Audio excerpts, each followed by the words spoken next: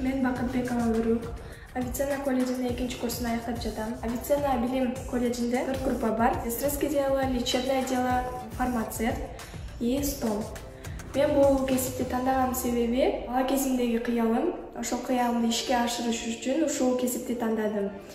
Бала кезимдеги кыялым бул адамдарды дарылоо адамдарга жардам берүү адамдарды айыктыруу. Ошол себептен ушул кесипти тандадым бул окууну аяктаган соң мен бала кезимдеги кыялымды ишке ашырганга аракет кылам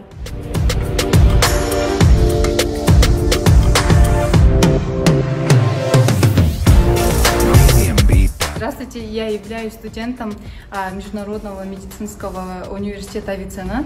Наш университет оснащен новыми оборудованиями.